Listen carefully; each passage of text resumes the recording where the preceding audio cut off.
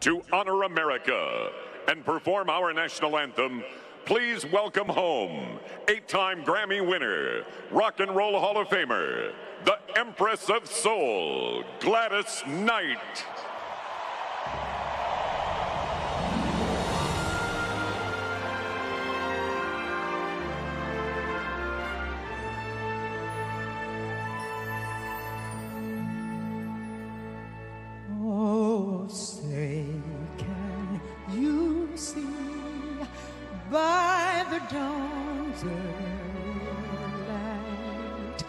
What so proudly we hailed at the twilight's last gleaming, whose broad stripes and bright stars through the perilous fight o'er the ramparts we watched were so gallantly streaming.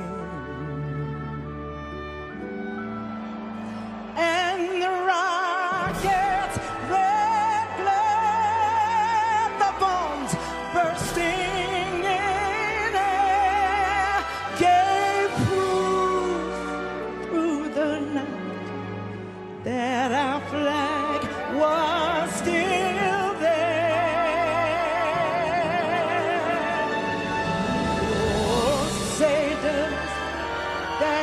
star-spangled banner.